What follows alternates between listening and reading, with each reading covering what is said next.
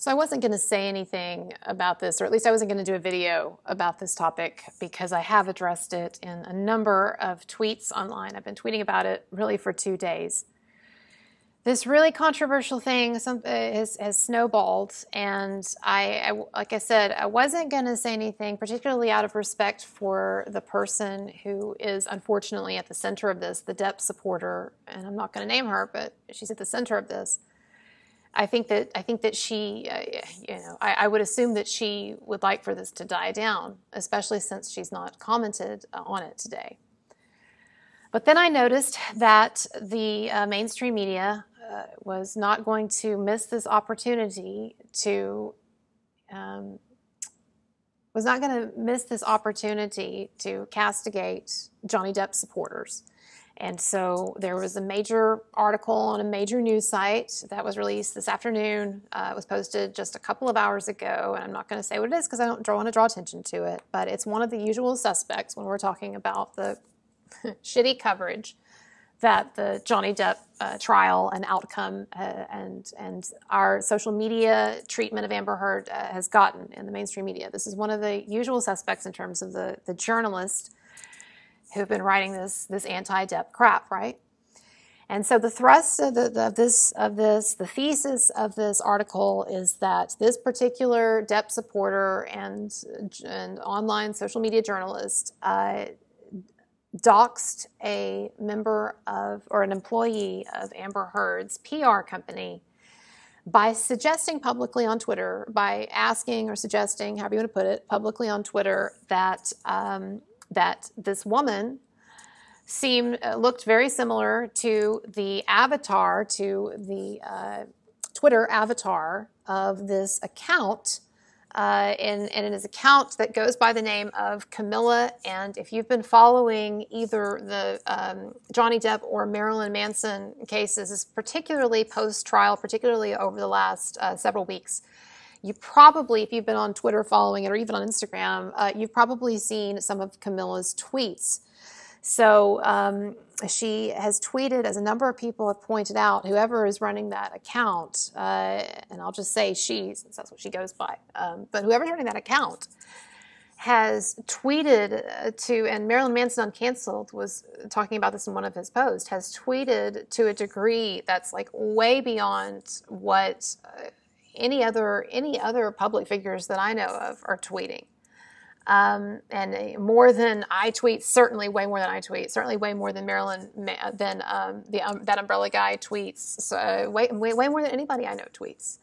And that in and of itself is not conclusive of anything. But then when you look at the number, and, and I, I'm not the first to say this, others have demonstrated this far better than I, but I'm just giving us some background here. When you look at the number of likes and retweets that some of these posts by this Kamilla account have gotten, particularly, and some of you have probably seen this, particularly the threads that she's done, the prominent threads that she's uh, done on Johnny Depp and Amber Heard, in which uh, she's tried to um, promote the idea that Johnny Depp actually was guilty and Amber Heard was innocent and that we've all been scammed. And then another thread on the Marilyn Manson and Evan Rachel Wood situation. And so, for instance, you know, you've got these threads that are getting within, uh, you know, within a short period of time are getting over 100,000 likes. And I don't think that people understand who haven't maybe been following the social media output as related to the Johnny Depp Amber Heard trial and, and situation, like like I have and like a number of you have, you know, who have been following this now for well, for me it's been several years and probably for a number of you too. I know I'm on Twitter every day, and I have been for a long time, and so are you. And so we know, and we, and we follow Twitter very closely through all of these stages, particularly through the trial. And we know um, what is a logical or reasonable um, uh, like and retweet ratio. And uh, particularly for pro Amber uh, material, which it's just up until very recently any posts that were pro Amber got almost no attention at all, almost no, you know, retweets. And I understand that the trial did raise people's awareness and there were a lot of people who came on board with the trial and to, to watch the trial and stuff. I, I get that. And so you had some of these blue check marks coming on board that maybe that weren't aware before. There were lots of people caught off guard, right? I understand that. But I'm just saying when you look even at the end of the trial, and, and there are people who've done much more forensic analyses than I'm doing here. I'm just summarizing. It's the end of the day. I don't look great. I'm tired, you know, whatever. And I just, but I just wanted, and I didn't expect to do a video, but I just, I just wanted to get this out because here's the thing. Here, like, here's my problem before I get back to analyzing the situation. My problem is that, like the Eminem song, the old Eminem song, uh, since birth I've been cursed with this, uh, with this urge. How does he put it? Since his birth I've been cursed with this urge to whatever. And he says I have this like compulsion to, in his case, rap.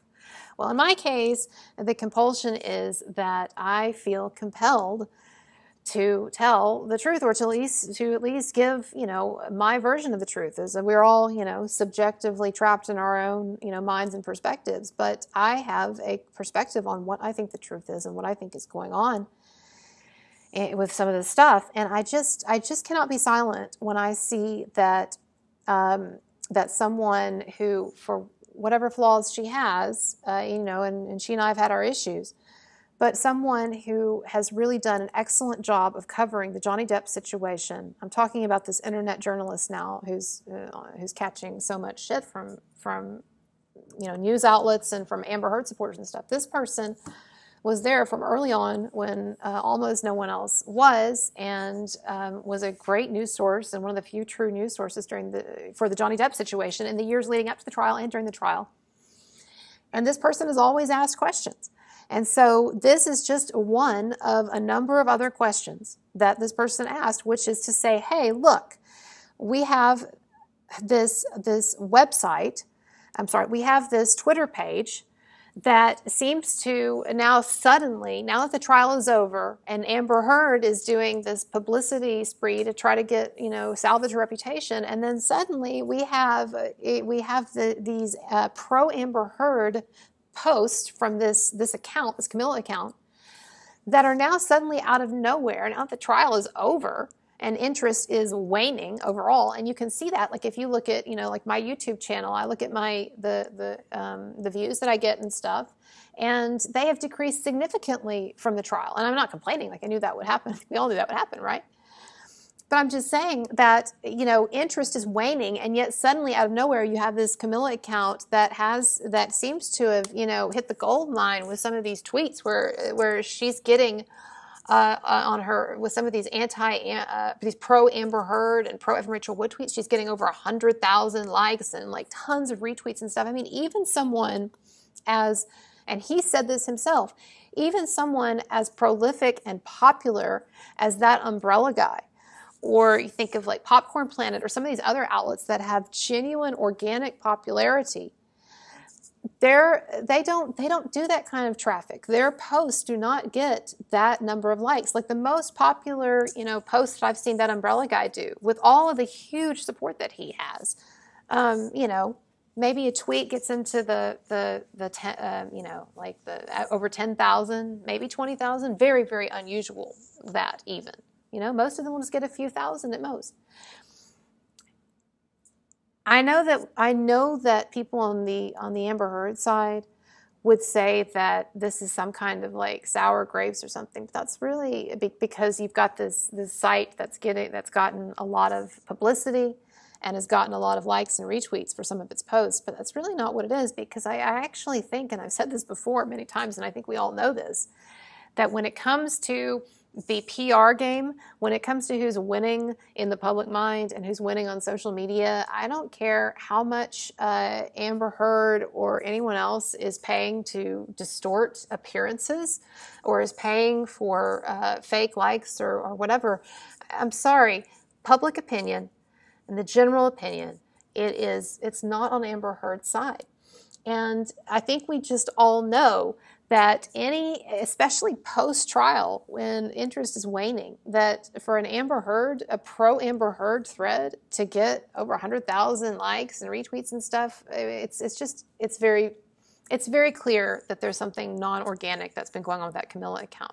When you look at the, the crazy number of tweets, again, there are other sources for this, other places to look, and this is for not a forensic analysis. But what happened is, is that uh, this particular person that I'm talking about, this internet journalist, she pointed out the fact that there is an extremely strong resemblance between the uh, avatar used by this Kamilla account and a woman that was uh, brought on in the spring to Shane Communications uh, to head up their diversity, equity, and inclusion stuff.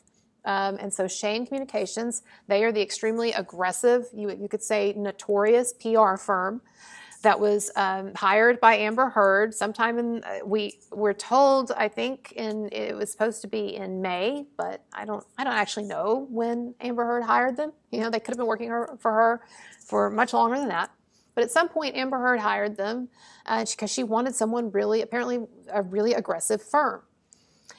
And so, anyway, so this, so they have this woman that they had brought on who's working for them, heading up their diversity and equity inclusion stuff. She was a black woman, and the photo of Kamilla is a black woman, and so there are these accusations that for for someone to draw an equivalency there, it was automatically uh, racism. And I, under, I, I, I understand that perspective, how someone could have in general that perspective if they didn't actually see the photos. But I'm sorry, you take color out of the equation and you're still left with something that looks like an excellent caricature of a real person. And I, you know, I'm not going to spend more time talking about it because I guess it's a matter of opinion. But to me and to a lot of other people, there was an extremely clear resemblance.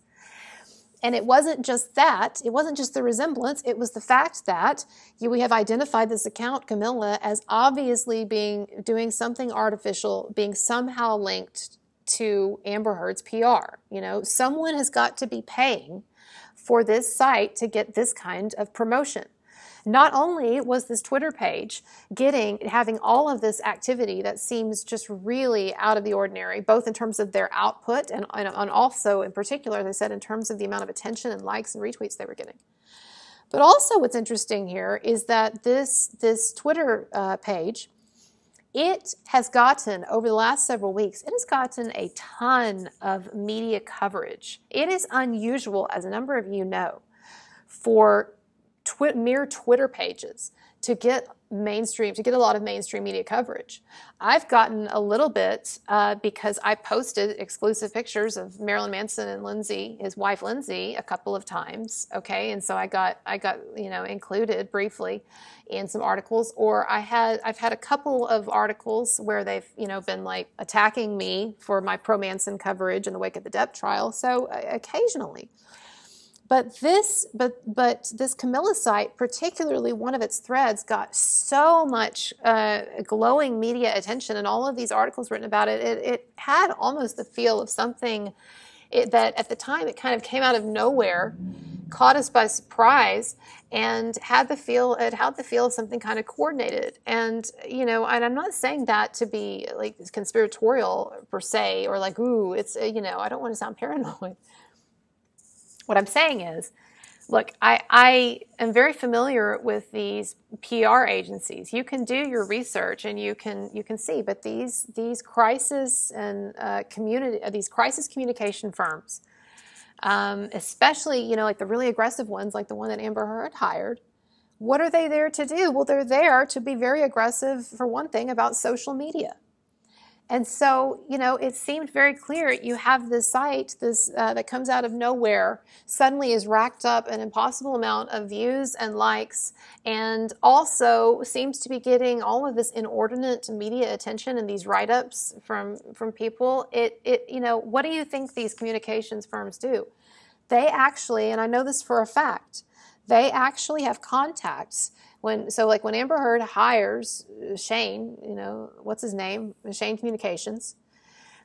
They have contacts in the media that they've cultivated and they will feed them stories. And it's not like them they pay, they don't pay them to to write the stories. And of course, the media people are not obligated to run the stories. But what happens is, if it's a story that's in line with that particular person's interest, or it's something that they think could be kind of cool, or it's in line with their political agenda, then they'll they'll do a story on it. They'll run with it. And so what yeah, what I think happened here is that you had all kinds of efforts being made by Amber Heard's uh, PR team to give this Kamilla site a big boost. Now the question is, um, was the person who was actually tweeting was that person actually working for you know Shane Communications? Could that person have, have been this woman who very much resembles this avatar? The fact that this woman uh, at, at, Amber Heard's Communications uh, company, the fact that her specialty is diversity, equity, and inclusion, and to me, in some ways, that actually would make it more likely that uh, she would be the one doing these tweets because, as you know, the main argument that Amber Heard supporters are making is that she's the victim of misogyny, deeply ingrained misogyny. Well, you know, gender and gender issues are one of the primary things that someone who has a specialty in diversity and equity and inclusion because I'm very familiar with these DEI initiatives and this kind of DEI specialty and this DEI uh, stuff because it's really big in academia. All right. In fact, like a lot of things, it hits academia before it then goes into the corporate world. Uh, that's why like, people like me who have been in academia, we saw a lot of this stuff, the, some of this, this the, the, things that people are complaining about now with like, you know, uh, gender politics and Me Too and all that. We saw it, it coming, right? And, and feminism and infantilization of women and so forth. Anyway, um, what I'm saying is that uh, it, it, to me, it's not um, it, it's not a stretch, and it's certainly not racist for someone, for an internet journalist who's been covering who's been covering the situation of this this Kamilla page that is clearly that is clearly linked in some way to Amber Heard's PR team. It's not strange to say that maybe this woman who does their DEI work and who looks a hell of a lot like that avatar might be her. Now, I understand that um, there, you know, there's this issue of doxing, okay, and this to me, you know, is a is a bit of a thornier issue. I can I can I can see where the other perspective is on this, but but here's the thing. Uh, this woman, I'm choosing not to say her name because I don't want people to think that that's the thrust of what I'm trying to do. Right? Is doxing. That's the that's the point. Uh, but this woman, um, she she joined Amber Heard's PR company. So, by very nature of the fact that it is a PR company that is advertising the fact that it is representing Amber Heard, everyone knows that it's representing Amber Heard. David Shane was there in court with her, okay? It's not a secret, it's being promoted. And this woman is joining this PR company to be one of their one of their PR people, right? And so the very binary very nature of that, you know, I would it's it's public. It's all public. And in fact, it, this is all public information about not only that she works for this PR company, but that this PR company represents Amber Heard. So, to my mind, there was no doxing because all that this internet journalist did is just draw more people's attention to the fact that this woman who it had already been announced that works for Amber Heard, guess what? She works for Amber Heard. I just don't see the big revelation there. There wasn't. She was making public something that had already been made public and emphasized, you know, in a lot of ways. And so, you know, I, people were saying, you know, and I had people doxing me online today and posting my name and uh, where where I have worked off and on. And guess what? You know, newsflash, you know, I've already I've already put my name out there on numerous occasions, okay? You go back and you look at some of my early videos, you can see it's in there. I've I've made reference to it before. I even posted it a couple of times I'm not hiding from it, okay? And I recognize that when you make yourself a kind of a, a public figure and you get into a controversial um, arena, then those things can come. But look, here's where there's a bit of a difference, okay? I have not adver- it has not been publicly advertised that I am working for Johnny Depp's PR team because guess what? I'm not. But let's say that I joined Johnny, Johnny Depp's PR team and it was publicly announced as it was, and it's public information that I'm on his PR team. Would I think that it was doxing if an Amber Heard supporter drew attention to the fact, hey, look, here's someone who works for Johnny Depp's PR team? I, I don't think it would be weird. I don't think it would be, I don't, and I don't think it would be offensive. And, you know, when this woman also complains about her family being harassed, I have to wonder what that means because I have been, my name has been out there. It is, my name has been exposed, not only by myself, but repeatedly and very publicly by um, anti Manson pages. So there are a ton of people out there who hate my guts, either from my perspective on Depp or on Manson, who hate my guts and who know exactly who I am. And do you want to know how many, um, how, how, much contact anyone has made with my family, or how many, uh, how much harassment my family has gotten, or even how many messages they've gotten? Zero.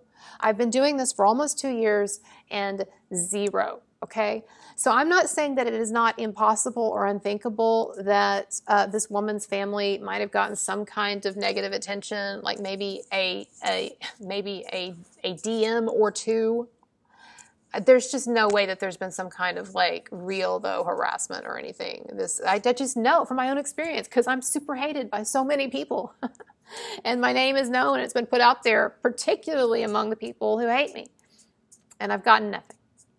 So I'm dubious about that. And whenever people start throwing up, you know, accusations of things like racism or sexism or misogyny or harassment or whatever, and these same people are playing the, the, the big baller, high powered, high stakes LA PR game where you get paid $500 an hour to work your magic. You're telling me, you're telling me that you're quaking in your boots because someone connected you to a Twitter account See, to me, I, I, I don't know. I have not done enough research to say whether I believe that this account is actually this woman's. I do totally believe though that this account is um, is connected to uh, Amber Heard's PR.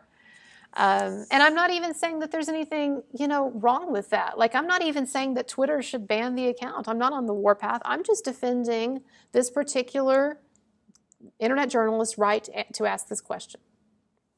And I'm and I am very bothered by the fact that asking that question has now been blown up and is now being used as yet more fodder and more ammunition by some of the mainstream media against Johnny Depp supporters. And that, by the way, is not my fault and it is not the fault of this particular internet journalist, okay? Other people's, we are not responsible for other people's willful distortions and misinterpretations.